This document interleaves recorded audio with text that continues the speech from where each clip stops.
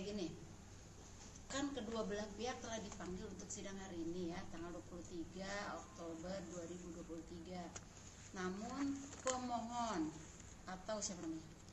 Tidak masa itu tidak hadir. Tidak pula memutus orang lain sebagai wakil atau kuasanya. Tuh yang pertama pemohon.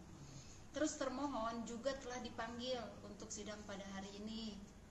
Dan e, menurut berita acara per, pemanggilan atau berita acara yang jurusita sampaikan bahwa hasil dari pemanggilan tersebut termohon atau Catherine-nya telah berpindah alamat jadi tidak ditemukan di alamat tersebut. Sehingga sidang ditunda hingga tanggal 6 November 2023 untuk memanggil kembali pihak pemohon. 6 November. Itu jadinya. Jadi tadi pemohon tidak hadir, termohon juga tidak hadir. Rangkaiannya tadi sudah saya sebutkan ya. Pemohon hadir, eh pemohon tidak hadir, tidak pula mengutus orang lain sebagai wakil atau kuasanya, padahal panggilan sudah sah dan patut. Sedangkan termohon sudah dipanggil oleh jurusita pengadilan agama Jakarta Selatan dan menurut berita acara pemanggilan bahwa termohon tidak lagi ber, ber tempat di situ karena telah pindah alamat kata menurut berita acara pemanggilan sehingga nanti pemohon dipanggil untuk e, menjelaskan di mana sebenarnya alamat termohon tersebut. Berarti alamat barunya belum diketahui gitu. Belum diketahui kan pemohonnya belum hadir. Jelas? Ya, Sudah? Udah, Neng?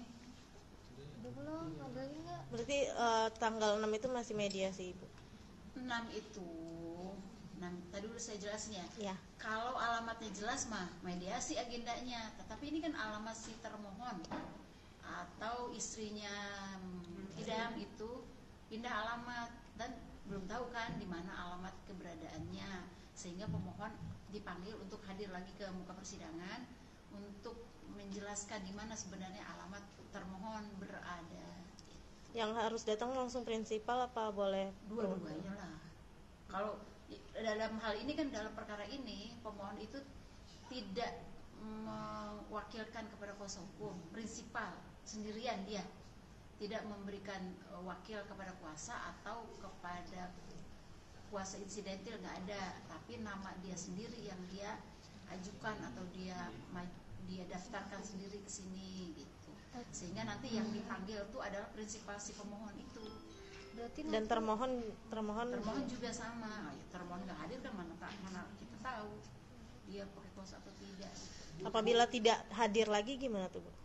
Ya, nanti akhirnya majelis hakim bu kalau termohon kan tadi kan uh, alamatnya nggak nggak tahu. Tapi kalau dari pemohon sendiri ada alasan kenapa nggak hadir hari ini? Tadi sudah saya sampaikan bahwa pemohon telah dipanggil tetapi tidak hadir tidak pula mengutus orang lain sebagai wakil atau kuasanya. Alasannya juga nggak ada itu tidak ada alasan. Kalau kalau ada surat kan ada alasan. Ini surat nggak nyampai dirinya tidak sampai mengutus orang lain juga tidak gitu. berarti nggak ada komunikasi antara si pemohon sama pengadilan? Nggak ada nggak ada kabar? Yang jelas kalau e, pengadilan kan bukan koresponden ya. Maksudnya kalau dia ngajukan di alamat tersebut ya dipanggil di alamat tersebut. Kalau tidak ada ya disidangkan berjalan sidang. Nanti untuk agenda berikutnya eh, pemohon itu dipanggil kembali. Berarti ya pemohon ini nanti sampai sampai sidang berjalan akan mengutus kuasa hukum atau hanya dia sendiri bu yang mewakilkan dirinya? Dua-duanya itu uh, punya hak yang sama ya pemohon prinsipal sendiri maju ke pengadilan ke persidangan boleh. Oh. mau dia mewakilkan uh, kepada kuasa hukumnya atau kuasa insidentil juga boleh gitu. tinggal tinggal yang mana yang dia pilih. Yang jelas pemohon itu diwajibkan untuk hadir di muka persidangan karena dia kan mengajukan. Udah? Udah? Yuk